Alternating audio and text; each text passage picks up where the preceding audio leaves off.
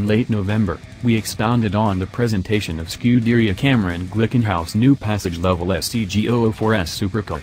It takes a couple of notes from the McLaren F1 playbook, as the driver situate is focal and a traveler situate is set on the two sides. Our underlying data said the auto would have a 5.0-liter twin-turbo V8 mounted amidships, however that has now changed, SCG will rather furnish the 004S with a tuned Nissan GT-R VR38 DET V6. This implies a knock-in control, from the 650 torque evaluate for the V8 up to 690 horsepower from the Nissan V6. Furthermore, that is only for the least expensive adaptation, pay more, and more power will be given.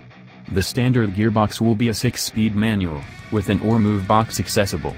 From 2020 on, the arrangement is to make 250 cases of the 004S every year. Talking with Autocar, Jim Glickenhaus said the decision had been made for the Nissan unit as it's considered for all intents and purposes impenetrable and in addition being lighter. This will bring about the 004S weighing just shy of 2,600 pounds.